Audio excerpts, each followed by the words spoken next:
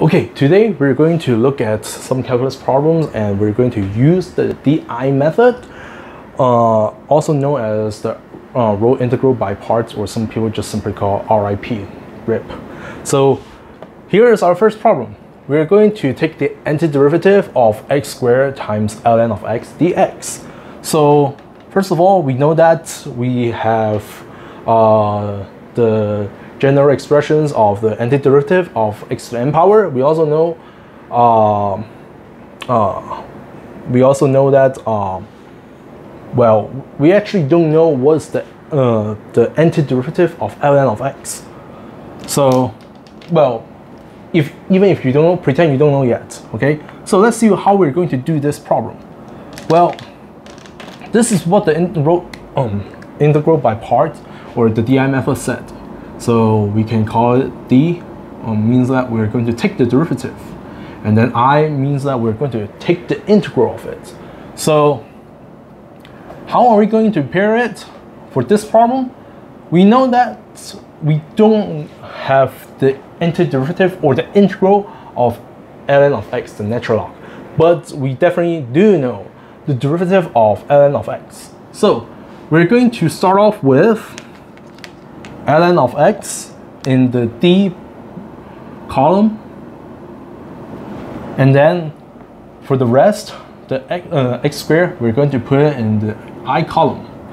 Meaning that later on, we're going to take the derivative of ln of x, and then for the x squared part, we're going to take the integral. So at this moment, we have the positive sign in front. Good. So in this method, we're going to alternate the sign every step. So the next step will turns into negative and the derivative of ln of x is 1 over x. And for the x squared part, we're going to take the integral of it, which is 1 third times x to third power. And don't forget, uh, well, most of the time the teacher will tell you don't forget the c when you write the, your answer. But right now, we're not done with it, so don't worry about it. So what does that mean? It means that now we are going to figure out what we get. We are going to take this route to end up with 1 third x cubed times ln of x. And then we're going to take this part here that is in the integral and it means that we're not done yet. We have negative or minus the integral of the products right here. So we have one third times x to the third power times 1 over x, which is x to the negative first power. So we have 3 minus 1 in the power, which is 2. So we end up with 1 third times x squared dx. So now we are uh, finally have a form that we know how to integrate one third is a constant, we can pull it out. Integral of x squared is, again, just another copy of one third times x to the third power. This time, we're finally done with all the integration. Don't forget, we still need to put a plus c at the end. So if we simplify it, we'll get 1 over 3 times x cubed and x minus 1 over 9 x cubed plus C. That's it. Let's move on to the second problem. Okay, here's our second problem. We're going to take the antiderivative of x squared times cosine of x, dx of course. So this time, what can we do? Well, it's very hard to tell what we can do right now because, again, we know that uh, we know the derivative and the integral of both x squared and cosine of x, right? But now we need to ask ourselves, okay, which one will be easier or will be beneficial if we're going to take the derivative? Let's take a look at this part first. Cosine of x. If we take the derivative, we have negative sine of x, and then take the derivative again, we have negative cosine of x. Take the derivative again, we have sine of x, and take another derivative, we have cosine of x. So we see that if we take the derivative of the cosine part, it will never end. We will always get a loop back. However, if we try to take the derivative of x squared, we see that we'll end up with 2x to 0. Meaning each time when we take a step for the x squared part, we can actually reduce that expression into lower degree and then eventually it will turn down into a constant or even down to zero. So this is exactly what we want to do so that we can, when we combine with the other parts, it will get, uh, will get something nicer or easier to simplify or to know how to do. So this time we're going to put x squared in the d part and then cosine x into the i part. So how do we do it? Again, we'll just follow it. First step, we're going to flip the sign and then take the derivative of this. We end up with 2x here and then take the integral of the i, col uh, I column. We have sine of x. And if we now take the product, we still end up with 2x times sine of x, which is not something that's very nice yet, and we don't have um, the integral of it, if you don't remember. But we only pretend that you on, we only know the uh, integral of sine and cosine, okay? But not multiplying with x to some power. So what should we do? Take another step. Now we're going to flip the sign again and turn it back into positive. So 2x will become 2 as we take another derivative, where the integral of sine of x is negative cosine of x. Good. So do we need to take another step? Actually, not, and, uh, not necessary anymore because even if we take the product here, we end up with negative 2 cosine of x, and we know how to take the integral of it. But some people or some professors would just ask you to take one more step. So that now, if we take the derivative of 2, we end up with 0 here, and then take the integral of here, we will end up with negative sine of x. So that now, it will be even nicer, because if we take the product, we end up with 0. So the integral of that is just some constant c. Then we can finalize our work. So again, how do we do it? Take this row and then multiply with the um, um, multiply with the next i like this and then finally here we also need to do this which is unnecessary we uh, as we explained that this part is just giving us some constant. So we can, in fact, ignore the last, uh, the last row here. So we just get x squared times sine of x, which is the first, and then time, uh, and then minus 2x times this part, so we end up with double negative, which is positive. So we have plus 2x cosine of x and then we're taking the third part, uh, yeah, the third row, which is plus 2 times negative. So we end up with minus 2 times sine of x. And don't forget, the last row is telling us that we will end up with some arbitrary constant, capital C. Good. So let's take a look at another example and we'll end the video after that. Okay, here's our last example. So this time we have the cube of the expression x ln of x dx, and we need to find out the antiderivative of it. So perhaps some of you already know what's the uh, integral of x ln of x. However, we cannot really do it at here because don't forget we actually need to do a chain rule if we do so. But then there's nothing else we can actually uh, uh, combine with the dx and then give us a very nice form. So first, let's break it out. We have the integral of x cubed times now, I know most people will actually hate this symbol, but I'm still going to use it. ln x, uh, ln of x to the third power. Well, in this case, we mean uh, it means that we have three copies of ln of x. maybe I should do it.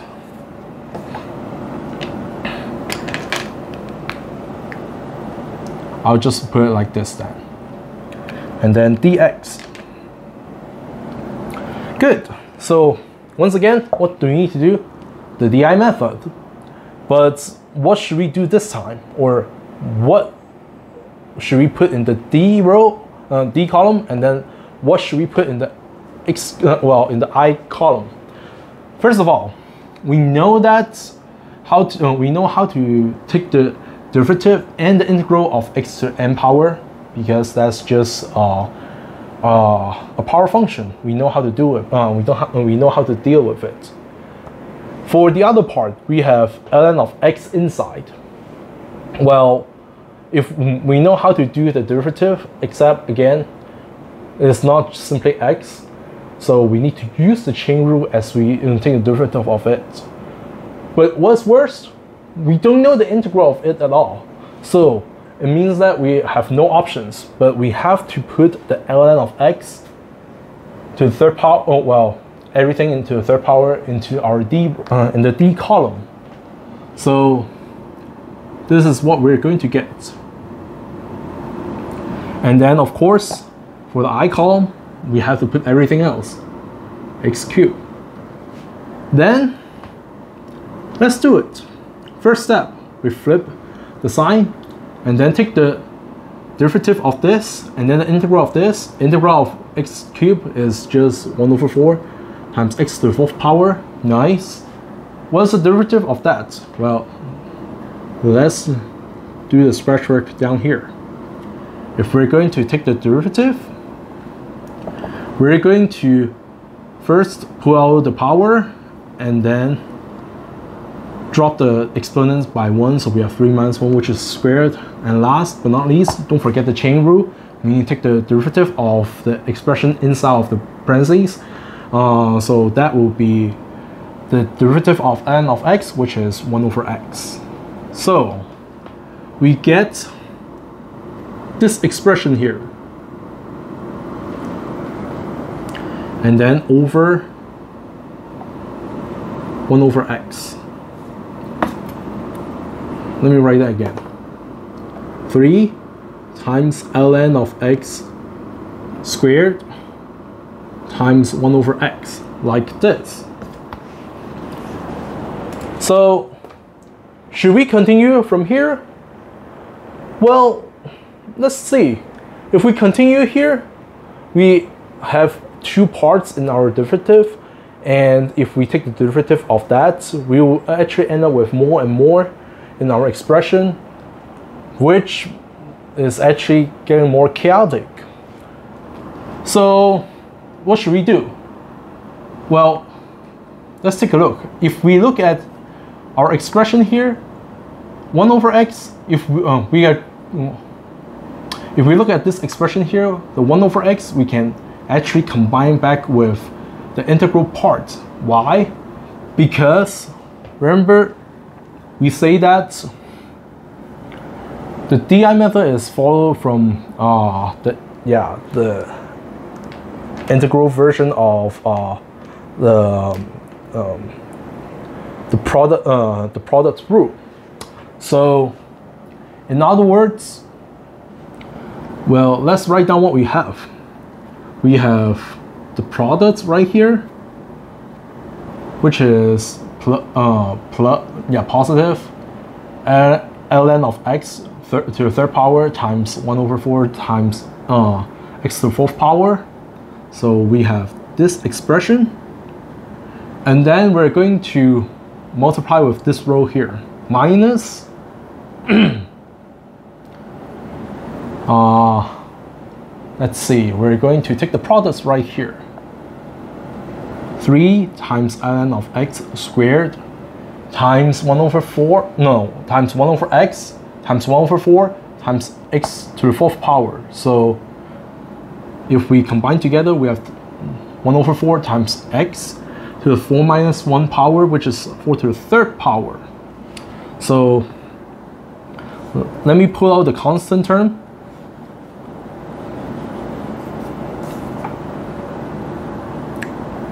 Three over four here, And then we'll just put these two together. Like this. So, what makes it good? We notice that instead of having three, uh, the third power for the ln of x term, we now drop it down to uh, second power in the uh, in the ln of x term. Even though we didn't really change the x to the third power yet, here we already reduced the, the degree so that now if we keep going, we can reduce it down, Uh, reduce down the degree into zero eventually if we use the DI method. So what can we do? We are going to use the DI method again, but this time, instead of continuing from here, we're going to start over. So let me use the black pen here. So if we start over, we have a negative here. So let's still put the negative here to help us. Uh, and then again, now our new D, uh, D parts will be ln of x squared. And then for the i part, we have the x cubed. So that's, if we do it again, we will get, uh, let's see, it's a little bit long here. We will now get, here is 1 over 4 times x to the fourth power, and then the derivative of ln of x squared is just 2 times ln of x times the by the chain rule the derivative of ln of x is 1 over x. Good. So now we can uh, we can just plug it in again. So we have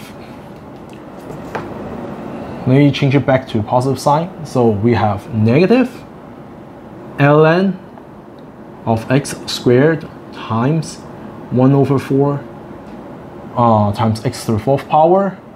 And then we have a plus sign here times the integral of the products right here. So we have integral of 2 ln of x times 1 over x times 1 over 4 times x to the fourth power again dx. Like this. So if we simplify this part, we will then get um, let's see we pull out uh, we multiply with the negative so we end up uh, multiply the 1 over 4 here so we end up with negative 3 over 16 times x to the fourth power ln of x squared and then plus the integral of here. So take out the constant terms which is 2 times 1 over 4 which is 1 half multiplied with the front we have 3 over 8 times the integral of, again, 1 over x times x to the fourth power will give us x to the third power, and then times ln of x dx. Great. So we can just do it one more time so that we will end up with the following expression. 1 over 4 times x to the fourth power times ln of x cubed minus third, no, 3 over 16 times x to the fourth power times ln of x squared plus 3 over 8 times, let's see, we will get 1 over 4 times x to the fourth power times ln of x and then we're going to minus the integral of 1 over 4 times x to the fourth power times now we just have the derivative of ln of x which is 1 over x dx. And this part we can just combine it into x to the third power so that we can finally get our result.